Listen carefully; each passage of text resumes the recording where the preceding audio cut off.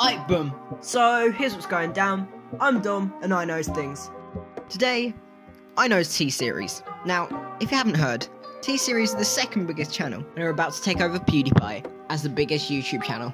However, this isn't really fair, as T Series is a company, and when you create a YouTube account in India, you will automatically sub to their channel. Now, I think with T Series being a business, it goes against everything YouTube is, and we can't let it become number one. So, figured out the only way to stop them. We have to make Dom Nose Banter the number one channel. We only need 67,975,400 subscribers. So make sure to like, subscribe, and share with all your friends. Right then guys, don't take me seriously, it's just some top notch banter.